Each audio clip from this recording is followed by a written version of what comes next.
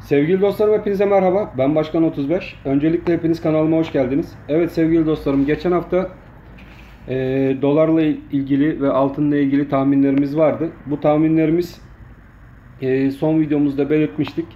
E, son videomuzda yaptığımız tahminler doğrultusunda bu videomuzda da gene dolar, altın ve e, gümüş üzerinde duracağız. Ve e, son değerlendirmelerimizi altın, dolar ve gümüşle ilgili yapıp yorumlamaya çalışacağız.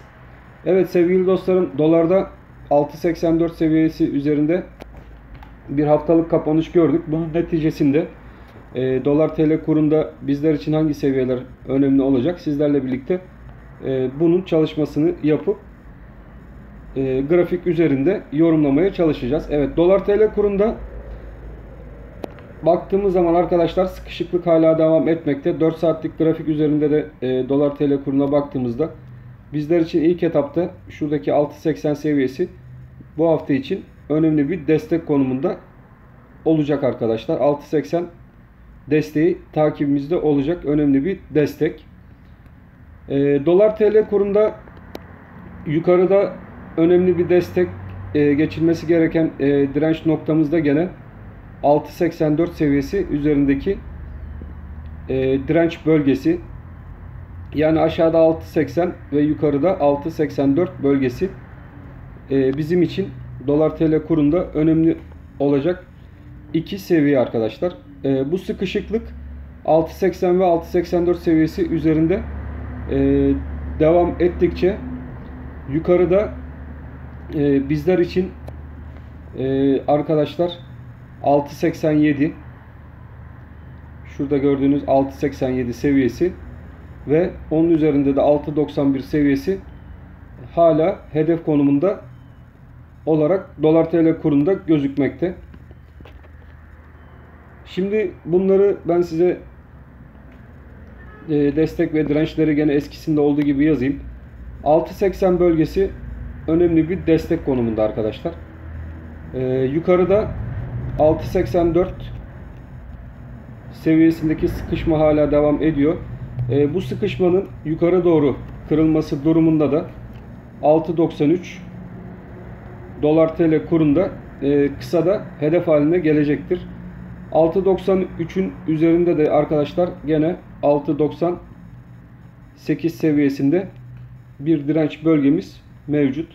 Yani dolar TL'de stratejimiz 6.80 üzerindeki destekte tutunma sağlandığı müddetçe yukarıdaki kısada 6.93 ve 6.98 seviyelerindeki e, hedef bölgesi dolar TL kurunda hala e, önemini korumakta arkadaşlar. E, olur da olumsuz bir durumda 6.80'in aşağı yönlü kırılması halinde e, bu sefer de aşağıda beklenti yerimiz 6.73'teki e, destek bölgesi olarak düşünülebilir arkadaşlar. Fakat 6.80 üzerinde kaldıkça dolar TL kurunda 6.93 ve 6.98 seviyeleri hala gündemimizde olan önemli destek ve direnç hedef bölgeleri olarak gözükmekte. Altına da bakalım. Altında neler olabilir? Evet, ons altına baktığımız zaman ons altında biliyorsunuz arkadaşlar son videomuzda 1743 aşılmasıyla birlikte 1766 hedefimiz mevcuttu. Ons altında bizim e, beklentimiz 1766'daki kuvvetli e, direnç bölgesinin e, yukarı kırılıp kırılmayacağı. İlk etapta burası çok önemli bizim için arkadaşlar. E, bu 1766 üzerinde e, ons altın tutunursa yani burayı kırabilirse 1766 seviyesini yukarı yönlü kırabilirse e, yukarıda biliyorsunuz ki bizim de kısadaki hedefimiz olan 1800 seviyesine doğru ataklar yukarı yönlü hızlanabilir. E, zaten günümüzde de merkez bankaları deli gibi para basmaya devam ettikçe altın tarafı her zaman e, güçlü duruşunu koruyacaktır arkadaşlar. O yüzden kısada 1766 direnci takibimizde olacak. 1766 direncini yukarı yönlü e, kırmayı başarabilir, e, güçlü bir şekilde başarabilirse de yukarıda 1800'lü seviyelere doğru altın ons'taki kısa hedefine e, gitmek isteyecektir altın ons. Aşağıda 1740 bizler için önemli bir destek arkadaşlar artık. 1740 seviyesi önemli bir destek bölgesi olarak gözükmekte. 1740 üzerinde e, kalıp bu 1740 seviyesini kendine destek yapmayı başarabilirse altın os yukarıda 1766 1800 seviyesine doğru e, yukarı yönlü hedeflerine devam edecektir. Aşağıda 1740 dediğimiz gibi artık kuvvetli bir destek. E, bu 1740 kırılmadığı müddetçe de yukarıda 1800 hedefli altın osta çalışmaya devam edecek gibi gözükmekte arkadaşlar. 1800 seviyesi takibinizde olsun. Gram altına da bakalım. Gram altında neler olabilir? Gram altında son çalışmamızda arkadaşlar 378 e, üzerinde durdukça yukarıda gram altında 388 seviyesinde e, bir hedefi olduğunu e, belirtmiştik. Bu 388 nokta atışlı gram altında da görüldü arkadaşlar. 388 seviyesinde kısada bir ikili tepe olayı gözükmekte gram altında. Fakat gram altında 385 üzerinde e, güçlü tutulmasını sürdürebilirse arkadaşlar bakın şuradaki 385 seviyesi gram altında artık önemli bir seviye. Bu 385 üzerinde tutulmasını sürdürebilirse yukarıda 393 hedefli e, çalışmasına devam edecektir. E, gene aşağıda önemli bir destek seviyesi 378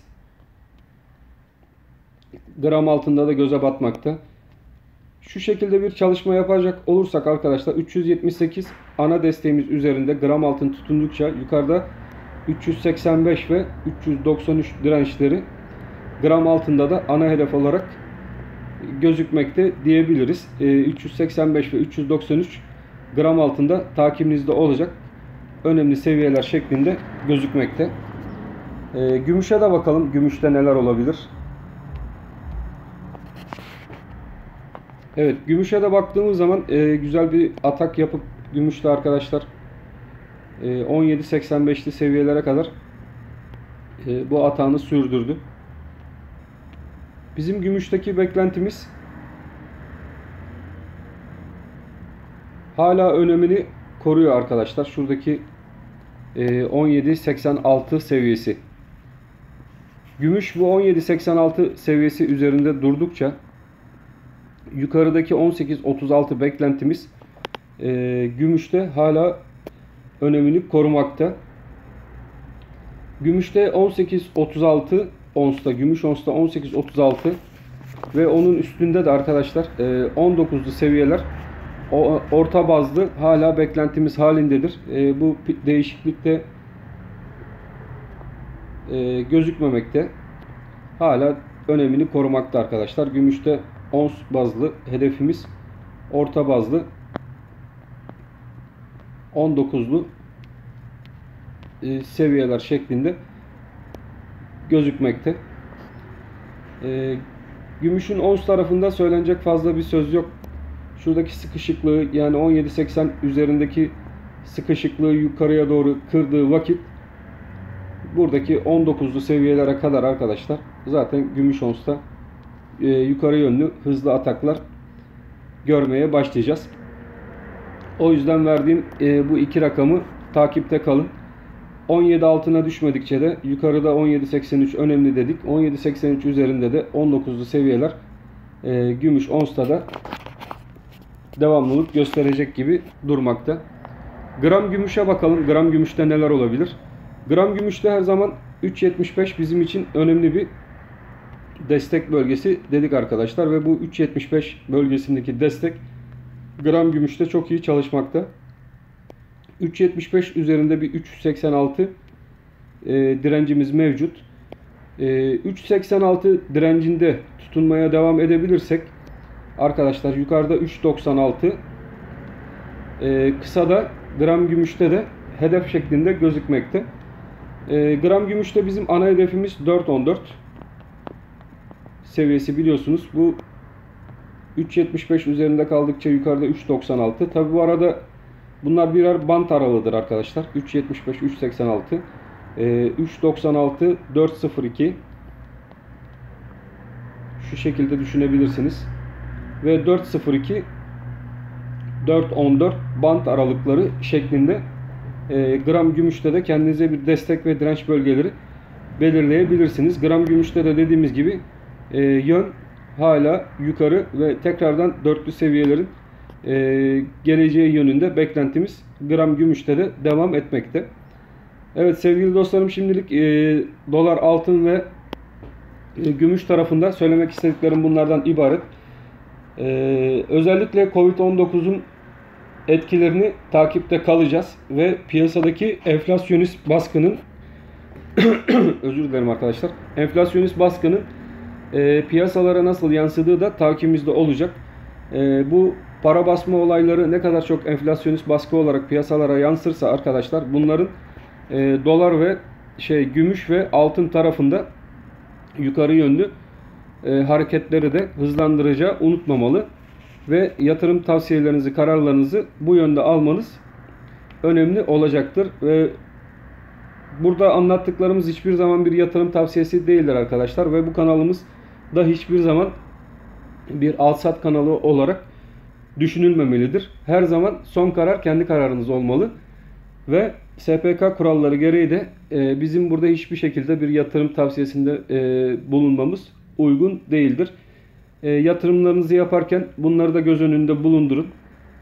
Ben Başkan 35 olarak sizleri çok seviyorum. İnşallah sizler de e, videolarımı beğeniyorsunuzdur. Videolarımı beğendiyseniz bir beğen atarsanız beni de çok memnun edersiniz.